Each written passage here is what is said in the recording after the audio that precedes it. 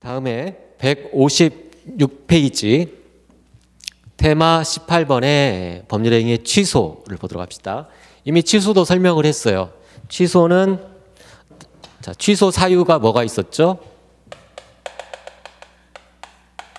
취소 사유 제한 능력자가 법정 대리인 등의 동의를 받지 않고 법률 행위를 하게 되면 취소. 그리고 109조 착오에 의한 의사 표시 취소. 110조 사기 강박에 의한 의사 표시 취소. 자, 이런 것들이 취소 사유입니다. 뭐 취소 사유가 있다라고 할 때 예컨대 제한 능력자가 동의를 받지 않고 법률 행위를 했다. 그럼 이것은 취소 사유가 있다고 합니다. 취소 사유. 취소 사유가 있다라는 말의 의미는 뭐라겠죠? 현재 스코어는 유효라고 했어요. 유효. 다만 유동적 유효다. 유동적인 유효 상태. 무권 대리와 다르죠. 무권 대리는 현재 스코어가 무효인데 유동적인 유동적 무효이고 취소할 수 있는 법률 행위는 유동적 유효예요. 이 상태에서 취소권을 행사할 수도 있고 취소권을 포기할 수도 있죠. 취소권을 행사하지 않기로 하는 자, 취소할 수 있는 법률 행위는 취소권이 발생하는 거예요. 취소 사유가 있다라는 말은 취소권이라는 형성권이 발생하는 것이다. 이 발생한 형성권 단독 행위죠. 행사할 수도 있고 포기할 수도 있어요. 자기 권리니까. 취소권을 행사하면 그 법률 행위는 소급해서 무효가 되고 취소권을 포기하면 현재 스코어 유효인데 유효가 확정되는 거예요. 확정. 그대로 유효로 확정된다. 두 가지가 가능합니다. 취소 사유가 있다는 건 이미 앞에서도 설명을 했어요. 아, 그래서 취소를 하게 되면 취소권을 행사해야 되는 거고 의사표시를 행사해야 되고 이거 형성권이고 단독행위예요. 따라서 의사표시 단독행위인 의사표시니까 상대방에게 그 취소권 행사가 도달 도달주의 원칙상 상대방에게 도달해야 효력이 발생한다. 효력 발생은 소급해서 무효가 된다. 법률행위를 할 당시로 소급해서. 그래서 여기에서 취소권을 행사하면 법률행위를 할 당시로 소급해서 처음부터 무효가 되는 거예요. 처음부터 무효. 이게 취소입니다. 그래서 먼저 취소에서 어, 의 부분에 보세요. 일단 유효하게 성립, 성립의 밑줄. 자, 법률행위의 성립 요건, 효력 요건 이렇게 나누죠. 일단 성립한 걸 전제로 1단계 성립한 걸 전제로 그다음에 취소 사유가 있을 때 취소를 논하는 거예요. 당연히 성립한 걸 전제로 해야 됩니다.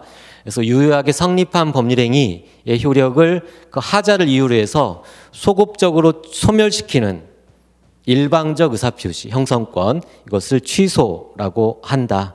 취소. 취소 사유는 받고 어, 157페이지 양가로 이해 보면 구별 개념이 있죠.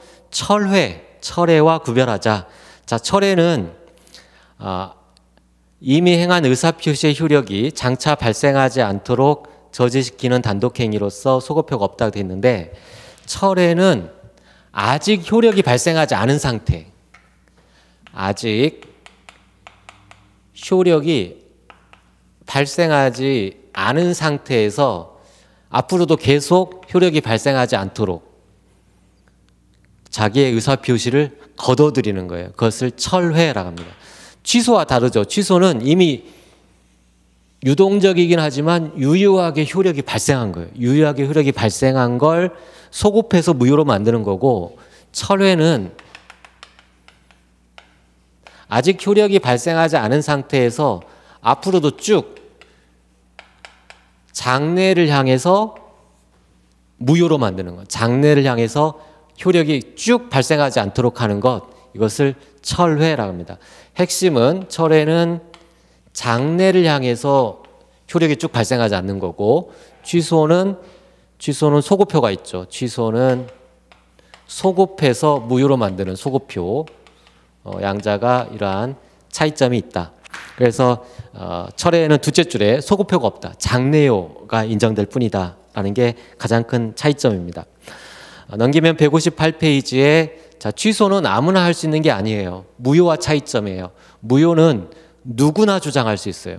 어떤 법률행위가 무효라면 누구나 그 법률행위가 무효라고 이 세상 모든 사람이 다 주장할 수 있습니다. 법률행위 당사자만 주장할 수 있는 게 아니라 모든 사람이 주장할 수 있어요. 하지만 취소는 취소권자만 주장할 수 있어요. 취소권자. 취소권자는 누구죠? 여기죠. 제한 능력자 그리고 착오나 사기 강박에 의해서 의사 표시를 한 자, 이자만 취소할 수 있어요. 이자만. 그리고 이자의 대리인 그리고 이자의 취소권을 넘겨받은 사람, 그걸 승계인이라고 해요. 그 대리인과 승계인이 취소할 수 있습니다. 취소권자 기억합시다. 자, 제한 능력자, 차고 사기 강박에 의한 의사표시를 한 자, 앞에서 공부한 거 기억하면 당연히 여기 취소권자가 되는 거고, 그다음에 대리인 그리고 그 취소권을 넘겨받은 자, 승계인 가능한데 문제는 여기서 이제 대리인 부분 이 부분은 조금 더 어, 주의를 하셔야 돼요. 자, 대리인이 취소권을 행사할 수 있다고 할 때 이게 어떤 의미냐? 대리 관계 이렇게 보고 왔죠. 얘가 본인, 대리인, 상대방입니다.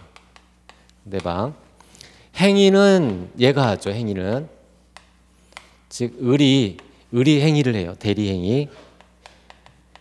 그리고 대리 행위의 하자 여기에 대리 행위의 하자 제한 능력자다.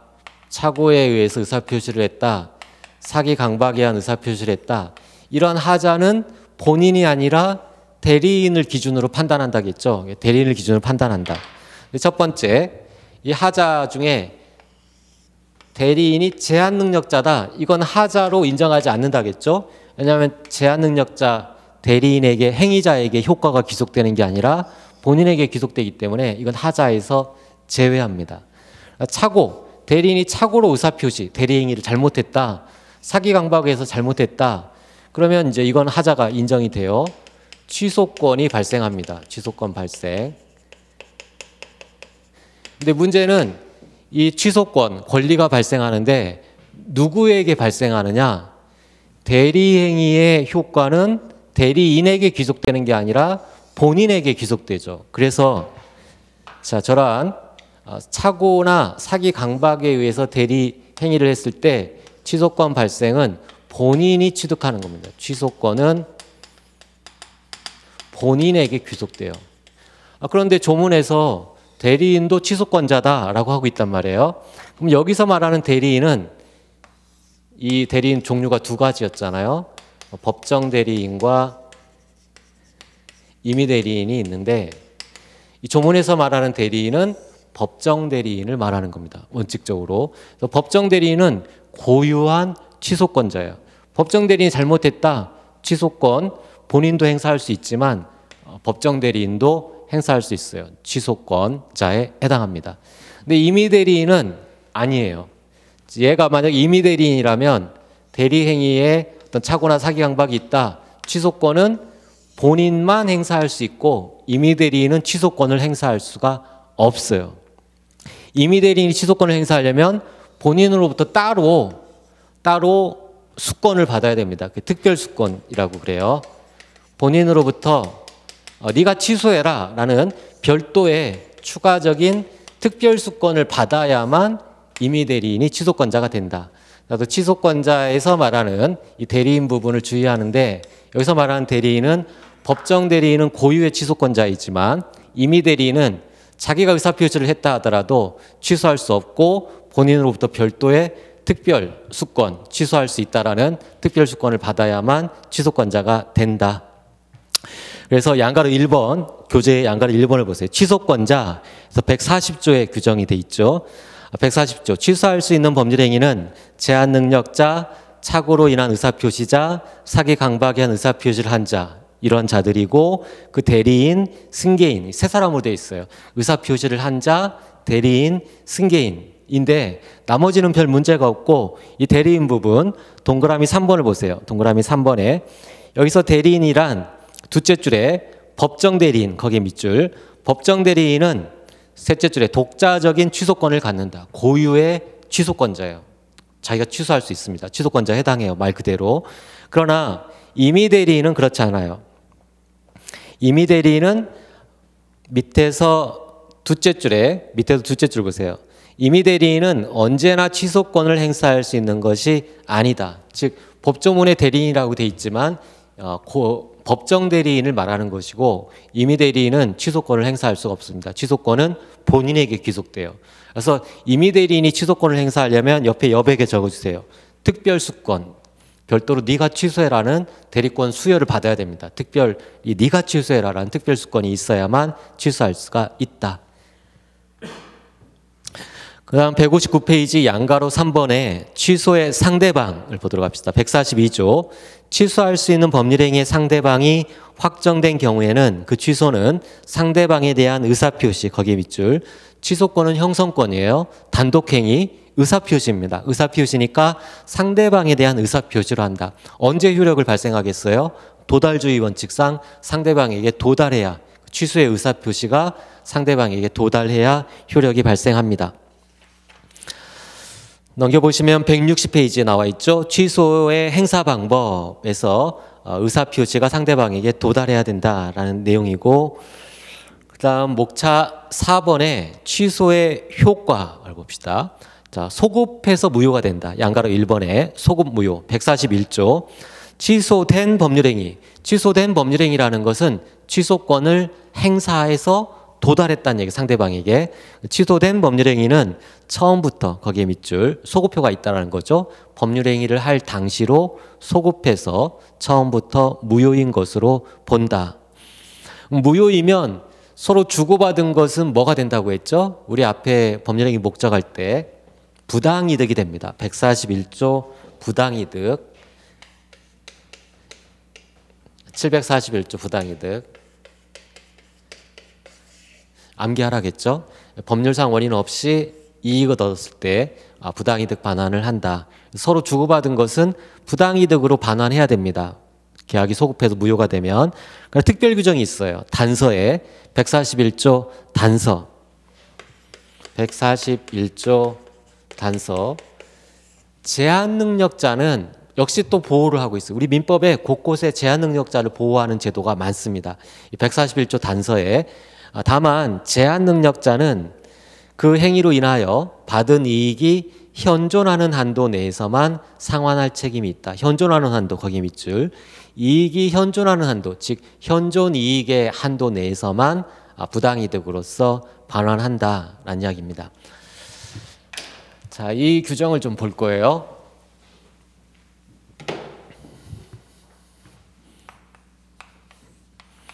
갑이 제한 능력자 로서 어, 제한 능력자로 뭘 살까요? 아이스, 어, 아이스크림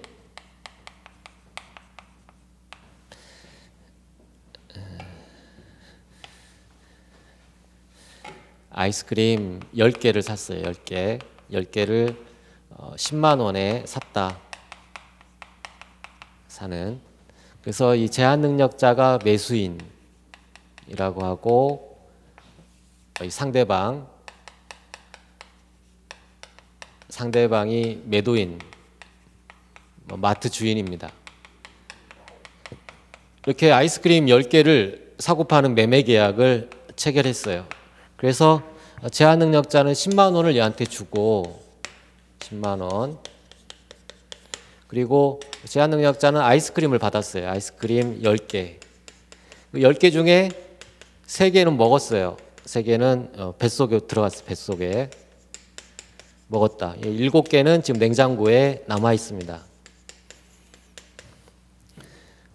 그런 상태. 을은 이제 10만 원을 가지고 있고 얘는 지금 3개는 뱃속에 7개는 냉장고에 이 상태에서 제한 능력자가 이 법률행위 야 아이스크림 10개 10만 원 하나에 내가 만 원씩 산 거야. 천 원이면 사는 걸 만 원씩이나 주고 산 거야. 취소예요. 취소.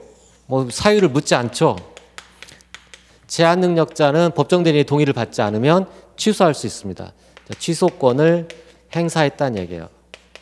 이 취소권 행사는 제한 능력자 당연히 행사할 수 있고 이 제한 능력자의 법정 대리인, 친권자 등의 법정 대리인이 취소권을 행사할 수 있죠. 어쨌든 취소권자가 취소권을 행사했다.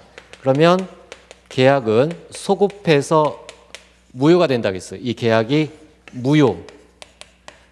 무효가 되면 서로 주고받은 것은 부당이득으로 반환한다. 741조 부당이득으로서 반환을 합니다. 이때 반환의 범위가 문제예요. 자, 얼마만큼의 부당이득으로 반환해야 되느냐? 부당이득 범위. 이 부당이득 범위는 748조에서 규정하고 있어요. 748조. 이게 일반 원칙입니다. 일반 규정. 748조가 일반 규정이고 이 748조에 대한 특별 규정이 141조 단서예요. 암기하셔야 돼요. 암기. 자, 부당이득 반환 규정은 140, 741조 법률상 원인 없이 이득을 얻으면 이게 부당이득이고 돌려줘야 된다. 이게 741조에 있는 내용이고 여러분 그 조문 프린트에서 나간 거 거기에 참고 조문 있습니다. 741조가 법률상 원인 없이 얻은 이익은 부당이득으로 반환한다. 라는 반환을 규정한 거고 구체적인 반환의 범위에 대해서는 748조가 일반 규정으로 규정되어 있어요. 이 748조는 1항과 2항으로 나뉘어져 있는데 748조 1항은 선의인 경우 내가 몰랐다. 법률상 원인 없이 이득을 얻은 줄 몰랐다. 이 선의. 알았다. 악이. 반환 범위가 달라요. 이 선의의 부당 이득자, 그걸 수익자라고 해요. 선의의 수익자는 현존하는 이익, 현재 남아 있는 이익, 그것만 돌려주면 돼요. 현재 남아 있는 이익만. 그런데 악의의 수익자는 법률상 원인 없는 걸 알면서도 이익을 취득한 악의의 수익자는 자기가 받은 이익 전부를 돌려줘야 되고 거기에 손해배 이자까지 얹어야 되고 더 나가서 손해배상까지 해야 됩니다. 자, 748조 기억합시다. 선의의 수익자는 현존 이익 한도 내에서만 반환하면 된다. 그러나 악의의 수익자는 받은 이익의 이자 손해배상까지 해야 된다. 이게 일반 규정이에요. 그런데 특별 규정으로 141조 단서 지금 읽었던 141조 단서에서 제한 능력자인 경우에는 선악을 불문하고 자기가 제한 능력자다라는 사실을 알았든 몰랐든 뭐 당연히 알았겠죠. 악이겠죠. 어쨌든 악이어도 제한 능력자는 현존 이익, 현재 존재하는 이익 범위 내에서만 반환한다. 보호하는 거죠. 원래 악이라면 현존 이익이 아니라 이익의 이자 손해배상까지 해야 되는데 현존 이익만 돌려주면 된다는 얘기예요. 특별 규정. 따라서 이 사례를 보면 이 아이스크림 사례에서 을은 상대방은 얼마를 돌려줘야 돼요? 상대방은 이 계약이 취소되면 소급해서 무효, 법률상 원인 없게 됐으니까 부당이득으로 돌려줘야 되는데 얘는 748조 일반 규정이 적용됩니다. 그래서 얘가 제한 능력자를 알면서 이런 행위를 했다. 그러면 자기가 받은 이익 10만 원에 이자를 얹고 손해배상까지 해야 됩니다. 만약 몰랐다. 그럼 10만 원 그것만 돌려주면 돼. 현재 존재하고 있는 10만 원만 돌려주면 된다. 선이냐 악이냐에 따라 달라요. 그러나 제한 능력자는 이 748조가 아니라 141조 단서가 적용되기 때문에 악이어도 얘가 악이잖아요. 제가 제한 능력자라는 거 알고 있죠. 악이어도 현존 이익 한도 내에서만 반환한다. 현존 이익은 지금 10개의 아이스크림 중에 3개는 현존하지 않죠. 없어졌어요. 뱃속에 들어갔으니까. 3개는 빼고 7개만, 7개만 돌려주고 10만 원은 받으면 된다.